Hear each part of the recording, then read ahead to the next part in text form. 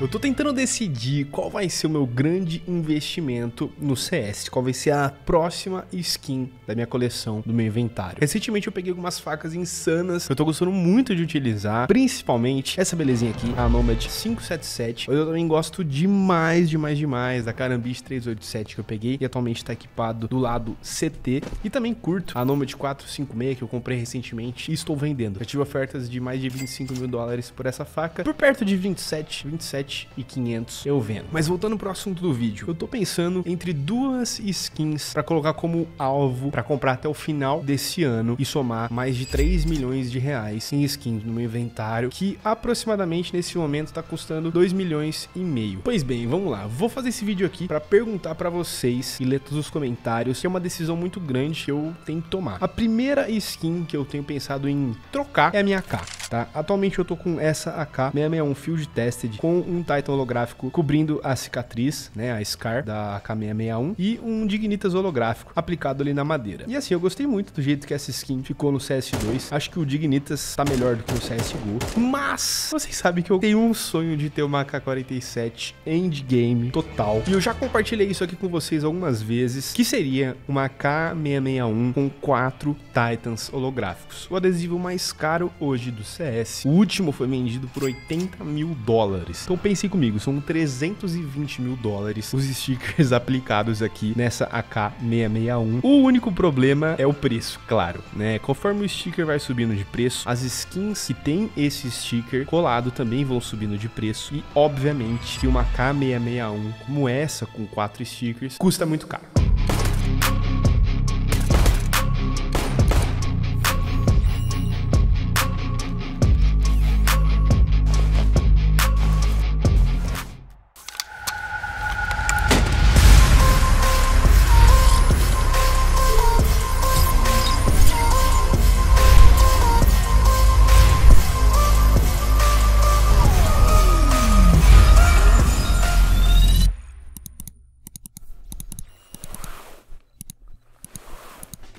Então, é por que, que eu tô falando dela? Ela seria uma das escolhas que eu buscaria no futuro comprar, provavelmente até o final do ano, antes que o preço exploda. A segunda skin, e aí eu tenho que decidir entre uma delas, seria a lendária Skeleton com o melhor pattern do mundo, em case hardened, né? O pattern 403, que apesar de não ser 100% de azul, esse aqui é o melhor pattern para Skeleton e essa faca é desejada pelos colecionadores chineses e ela é muito, muito, muito cara e rara, já que menos de 10 foram dropadas até o momento. Bom, vamos lá. Por que, que eu tô fazendo esse vídeo e por que eu quero perguntar isso para vocês? Alguns dias atrás, um amigo meu, Business Cat, fez um vídeo reagindo ao meu inventário e precificando todas as minhas skins de acordo com a visão dele como colecionador de skins de CS. Ele chegou aí numa valuation de aproximadamente 480 a 490 mil dólares pelos meus itens. De acordo com ele, seria o maior inventário do Brasil. Ele analisou todos os inventários do Brasil e realmente realmente ele fez as contas e o meu seria ou top 1 ou top 2. De acordo com a opinião dele, seria o mais caro. E foi então que eu perguntei para ele, cara, e agora? Qual a minha próxima skin que eu devo comprar? O que, que você acha? E ouvindo a opinião dele, eu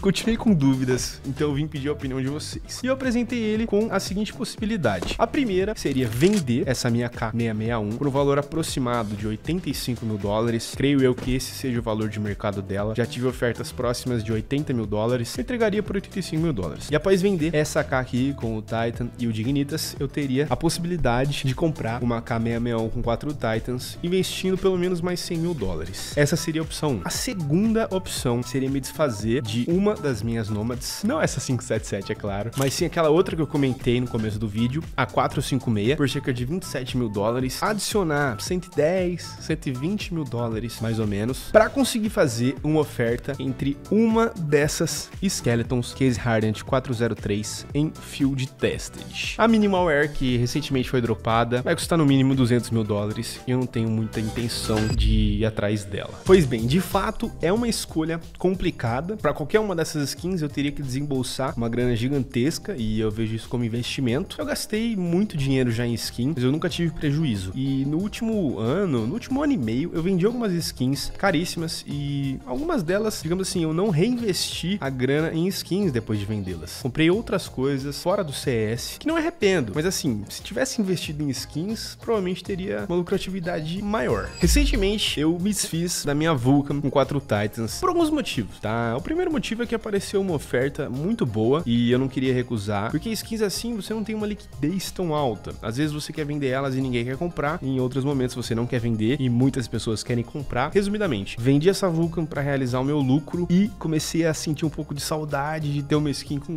4 Titans no meu inventário, que era uma conquista muito legal, não vou mentir. Acabei ficando com apenas uma skin de AK e não duas, e era algo que eu gostava de ter, né? Duas skins de AK diferentes, essa daqui ficou emprestada no inventário do Cacerato por muito tempo, enquanto eu jogava com a 661, eu realmente tava gostando muito, mas agora já não tô gostando tanto. Não sei porquê, não sei se é o CS2, não sei se eu enjoo com o tempo, eu acho que eu enjoo com o tempo das coisas. Não das minhas facas Blue Jays, essa daqui eu não vou conseguir enjoar nunca, cara. Mas enfim, vamos continuar aqui a ideia do vídeo enquanto a gente caminha aqui pela praia. Eu realmente tô pensando em comprar uma dessas duas skins que eu falei. Vocês sabem que quando eu falo que eu quero comprar, eu realmente vou atrás e compro, né? Invisto a grana que precisar ser investida, vou atrás do colecionador, falo até chinês se for preciso falar, mas eu coloco como um alvo, como meta, comprar certa skin de tal valor até tal data. E eu faço tudo que eu posso fazer para conseguir bater aquele alvo, né? Para realizar aquela missão. E agora eu realmente estou pensando se ir atrás de uma Skeleton 403 não seria uma bobeira de certa forma, tá? Primeiramente porque eu não consigo equipar mais do que duas facas ao mesmo tempo no CS. E por mais que eu goste muito da faca Skeleton, mesmo nunca tendo uma, eu gosto porque a animação dela, a animação rara principalmente, é muito legal. A sacada da faca também é muito legal. E os colecionadores chineses gostam muito da Skeleton 403 em especial. Então eu sei que no futuro, se eu quisesse vender essa faca, eu conseguiria vender. Ao mesmo tempo, a K661 4 Titans é uma skin lendária, é uma skin que é mais cara que a Skeleton 403, é uma skin que muito provavelmente nunca mais vai existir outra. É pouquíssimo, pouquíssimo, pouquíssimo provável que alguma pessoa vai pegar uma K661 e ter a coragem de aplicar quatro stickers no valor tal de 320 mil dólares para gastar aqui colando numa K661 que não seria única no mundo. Basicamente a minha ideia é a seguinte: ao meu ver, a única possibilidade de uma nova K661 com quatro Titans surgir seria um colecionador pegando e comprando uma dessa, por exemplo, com dois Titans holográficos aplicados. Só existem três no mundo nesse estado, né? E gastando 160 mil dólares para fazer um craft aí, completando essa K661 e colando aí realmente os dois stickers e tendo aí o prazer de ter uma K661 com quatro Titans. Que por sua vez, só existem nove no mundo hoje que podem ser trocadas, porque uma está banida. Ou seja, é uma skin raríssima, só existem nove no mundo e é exatamente o mesmo número de Skeletons Case Hardened 403 existentes. Também são só nove. A questão é, amanhã, ou daqui seis meses, ou daqui um ano, podem existir 15, podem existir 20 Skeleton 403 como essa. Isso faria com que as Skeletons 403 em geral caíssem de preço? Não necessariamente, certo? Porque é um item que vai continuar sendo muito raro ao longo do tempo. E mesmo que novas skins de Skeleton 403 sejam dropadas, eu não acredito que vai diminuir o valor delas. Mas, por outro lado, vai diminuir sim a raridade. É um fato. A faca vai continuar dropando. A gente tá vendo, cada dia que passa, mais caixas vão sendo abertas, mais facas raras vão sendo dropadas. Inevitavelmente, outras Skeletons como essa vão ser dropadas no futuro. Já a K661 com 4 Titans, não. Não vão existir mais. A não ser essas três aí que eu citei que realmente tem dois Titans aplicados. E eu já vi, tá? Acho que faz um ano mais ou menos, um colecionador pegou uma K Case Hardened com dois Titans e aplicou mais dois, craftando aí uma K661 com quatro Titans. Mas eu não acredito que esse número vai passar de 10, tá? Então seria uma skin raríssima pro resto da vida. E assim como a Skeleton 403 tem diferentes floats e cada float tem um valor, a gente já fez um vídeo aqui no canal falando sobre o preço delas, né? Tem essas Battle Cards que valeriam perto de 40 mil dólares. Tem uma Well Worn que o cara tava pedindo 100 mil dólares, mas eu já acho maluquice. E a Field Tested tá na casa aí dos 140 mil dólares. Pois bem, o mesmo acontece aqui nas AK661 com 4 Titans. No caso, as Stat Track Minimalware, que existem três, o preço delas já passou de 400 mil dólares. Recentemente, essa daqui foi vendida, tá? Uma Minimalware Stat Track e realmente foi mais de 400 mil dólares à venda. Eu confirmei, eu fiz vídeo aqui pra vocês, mas eu não tenho necessidade de ter esse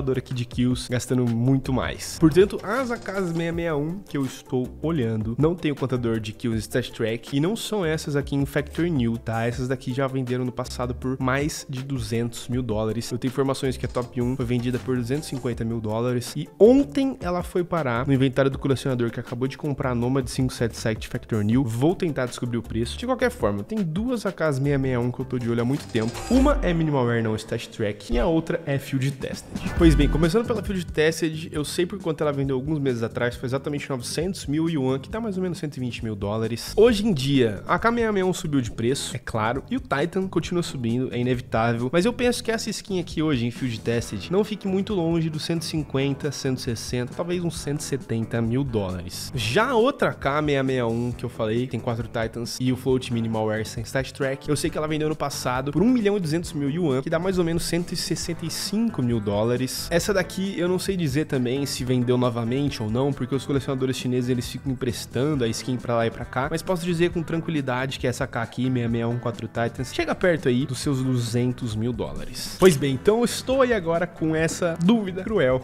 Ai meu Deus, é claro que eu preciso ganhar ainda mais dinheiro, preciso juntar um pouco mais de dinheiro para conseguir fazer uma oferta em um desses dois itens. E é claro, para comprar uma nova K eu preciso vender antes a minha K661 ou para comprar uma faca Blue Jay eu vou vender aquela 456. De qualquer forma eu vou vender aquela 456, mas o que eu queria perguntar para vocês é o seguinte: devo focar, devo ir atrás da Skeleton 403 para ter mais uma faca Blue Jay pro meu inventário ou devo focar em vender a minha K, que eu gosto muito, tá? Não me leve a mal, eu gosto muito desse craft por ser único no mundo, por ter dois dos stickers mais legais aí do CS e por ter uma temática legal, porque se for parar para pensar é como se fosse o Titan uma nave espacial, eu já vi muito gringo falando que o Titan é tipo uma nave espacial e o alienígena, então um craft interessante que eu não queria abrir mão de ter, a não ser se fosse para ir para outra K661 um pouco mais insana, digamos assim. Mas teria que ser um negócio casado, tá? Porque eu não vou abrir mão da minha K sem ter certeza absoluta de que eu consigo comprar no mesmo instante uma outra K com investimento melhor do que ela. Então, o que, que vocês acham? Skeleton 403 ou a K661 com quatro Titans holográficos? Deixem embaixo nos comentários, eu vou ler com muito carinho as opiniões de vocês. Não levem tanto em conta o preço dos itens, mas sim a raridade e a valorização para o futuro. Qual você acha que vale mais a pena para encaixar aí na minha coleção insana de skins pro inventário beirar 3 milhões de reais? Eu ainda tô muito em dúvida e não vou agir simplesmente pela emoção, eu quero realmente agir pela ação na escolha da próxima skin do meu inventário. Então conto com a ajuda de vocês, deixa um like nesse vídeo, a gente se vê na próxima. Um abraço, falou!